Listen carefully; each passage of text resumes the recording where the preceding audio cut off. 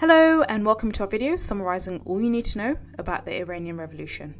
My name is Barbara, and in this video, we'll examine this revolution, its beginnings, its evolution, how it panned out, and its impact on Iran today. So let's get started. So now let's begin with the main question what was the Iranian Revolution? Now, the Iranian Revolution, which is also called the Islamic Revolution, occurred in 1978 and 1979 and it resulted in the toppling of the monarchy and the downfall of the Pahlavi dynasty on February 2, 1979, and it ultimately led to the establishment of an Islamic republic. The revolution is seen as a key watershed event and it impacted not only Iranian society and politics, but it had lasting consequences for the wider geopolitical order as well, especially in the Middle East.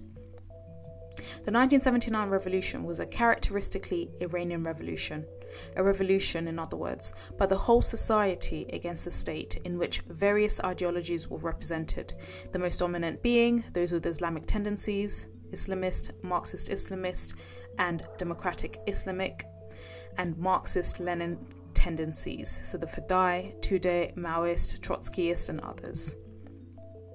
Now, it's really important to understand the context in which this revolution happened. So, this 1979 revolution, which brought together Iranians across many different social groups, has roots in Iran's long history. These groups included the clergy, landowners, intellectuals, and merchants who had previously come together in the Constitutional Revolution of 1905. Foreign intervention in Russia, UK, and later the US really influenced this. The UK helped Reza Shah Pahlavi establish a monarchy in 1929, in 1921 even, in Iran. And along with Russia, the UK then pushed Reza Shah into exile in 1941 and his son Mohammad Reza Pahlavi took the throne. In 1953, as Prime Minister, Mohammad Mossadegh nationalised British owned Anglo Iranian oil, and his supporters ousted Mohammad Reza Shah the US CIA and the UK's MI6 orchestrated a coup against Mossadegh's government and restored the Shah. Years later, Mohammad Reza Shah dismissed the parliament and launched the White Revolution. This was a very aggressive modernization program that upended the wealth and influence of landowners and clerics, disrupted rural economies, and it led to rapid urbanizations. In his efforts to modernize, the Shah overreached, making lots of people really angry within Iran. He outlawed the headscarf, also known as the hijab, from being worn in public. And not only did the Shah and his wife adopt Western dress, he also insisted that all government employees do the same. And although the efforts were successful economically, the benefits were uneven. Now, this affected Iran in the 1970s. So, opposition to the Shah's policies were heightened during this period, as there were lots of financial crises when serious fluctuations in Western consumption of, oil threatened Iran's economic stability. In addition to mounting economic difficulties, social political repression by the Shah's regime increased throughout the 70s. Outlets for political participation were minimal, and opposition parties such as the National Front, which is a loose coalition of nationalists, clerics, and non communist left wing parties, and the pro Soviet Tudeh, also known as Masses Party, were marginalized or forbidden. Now, a key figure that had a role in the success of the Iranian Revolution was known as Ayatollah Ruhollah Khomeini. Now, an increasing number of unemployed and working poor Iranians, mostly new migrants from the countryside, who were disenchanted by the cultural vacuum of modern urban Iran, threatened to the ulama, the religious scholars, for guidance, or rather, they turned to them for guidance. The Shah was criticized due to his subservience to foreign powers, irreligion, and close ties with Israel, which ended fueling per- pervasive opposition to his rule. Intellectuals in Iran were fascinated by the appeal of Ayatollah Khomeini, a former professor of philosophy who had been exiled in 1964 after his sharp criticism of the Shah's reform program.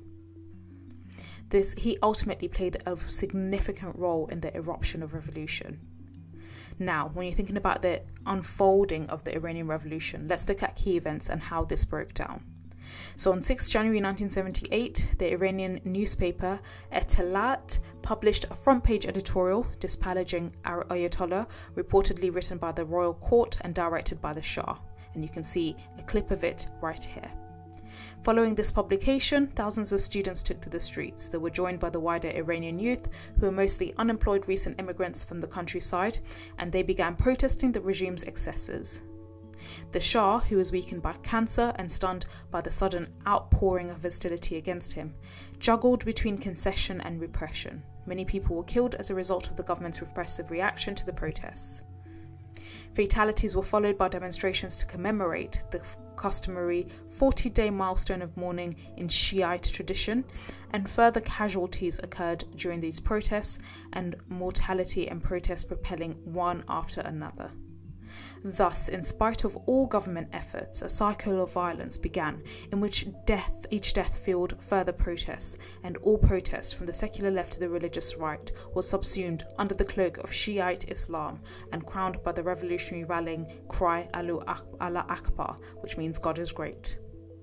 Declaring himself Allah's own messenger, Ayatollah Khomeini's vision for Iran was a return to conservative Islamic values and a purge of Western influences, which really appealed to a lot of people who were very angry with the Shah at this stage.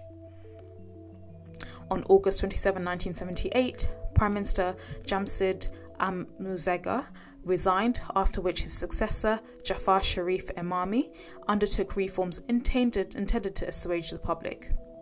On 8 September 1978, the government imposed martial law and troops opened fire against demonstrators in Tehran, killing hundreds, and this event became known as Black Friday.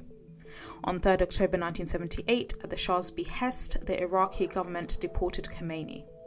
After he was denied entry to Kuwait, Khomeini traveled to France and settled in the in a chateau in a Parisian suburb where he benefited from greater media access and attention. This was followed by workers, including oil workers who went on strike, bringing the oil industry in Iran to a standstill. In December 1978, US President Jimmy Carter publicly reaffirmed his support for the Shah, declaring that we, which is the US, personally prefers that the Shah maintain a major role, but it is a decision for the Iranian people to make. Millions of Iranians protested all over the country demanding the removal of the Shah and the return of the Ayatollah Khomeini the Shah hastily appointed Shapur Bakhtiar as prime minister. And in January 1979, in what was officially described as a vacation, the Shah and his family essentially fled from Iran. The Regency Council established to, was established to run the country during his absence, and it proved unable to function, and Prime Minister Bakhtiar proved incapable. In the meantime, Khomeini formed the Revolutionary Council to coordinate the transition and on 1 February 1979, Khomeini returned to Iran and was greeted by wild rejoicing crowds in Tehran. Bakhtiar, the prime minister, announced countrywide curfew and martial law, but 10 days later, Iran's armed forces declared their neutrality, effectively ousting the Shah's regime. On 1st April 1979, following overwhelming support in a national referendum, Khomeini declared Iran an Islamic republic. Intellectual left wing elements were purged both from the clergy and from positions of power in the new regime, and there was a massive return to conservative social values.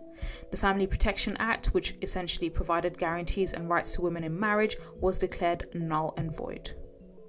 On 5th May 1979, Islamic Revolutionary Guard Corps were established by Khomeini. They patrolled the streets, enforcing Islamic codes of dressing and behavior and moral policing of crowds. Now, throughout the majority of 1979, the Revolutionary Guards, then an informal religious militia formed by Khomeini to forestall another CIA backed coup, as in the days of Mossadegh, engaged in similar activity aimed at intimidating and repressing political groups not under the ruling Revolutionary Council and its sister Islamic Republican Party, both clerical organizations loyal to Khomeini. There was then a really important event, a massive crisis known as the Iran hostage crisis, and this was in October 1979. So, an assembly of experts approved a draft constitution enshrining Khomeini's doctrine, which accorded ultimate authority to a religious leader. Shah Mohammad Reza Pahlavi was allowed to enter the US for medical treatment. However, Khomeini condemned the US for allowing this deposed Shah to enter the country. This contributed to strong anti Western sentiment throughout Iran, which ultimately manifested in the November 1979 hostage situation, wherein Iranian protesters seized personnel of the US Embassy as hostages, demanding the extradition of the Shah. This crisis signaled the start of major hostilities between the US, its allies, and Iran, resulting in, among other things, decades of sanctions. And these sanctions really brought Iran's economies to its knee. Now, in November, US freezed all the property and interests of the government of Iran and the Central Bank of Iran, and in December, the Assembly of Experts put a new constitution to vote, and Iran's new constitution overwhelmingly approved a popular referendum that drew participation from 75% of the electorate. Another important event, and this happened in 1980 of April, was the Iraqi invasion of Iran. So in April 1980, USA had effectively severed diplomatic ties to Iran. In the same year, in July, Iranian authorities discovered a coup plot and they launched a new purge of the military. And on 22nd December, September rather, Iraq, under the leadership of Saddam Hussein, invaded Iran, unleashing an eight-year conflict that resulted in numerous casualties on both sides. The Arab world's support of Saddam all the way through, and Saddam's attack and the spread of that war through the Persian Gulf and oil lands in particular, gradually drew the US into the Middle East. So that's all. If you found this video useful, do subscribe and give our channel a thumbs up, but equally make sure you visit our website, which is www.firstratetutors.com. There you will find lots of educational materials to support you in your studies, as well as model answers and information. Thank you so much for listening.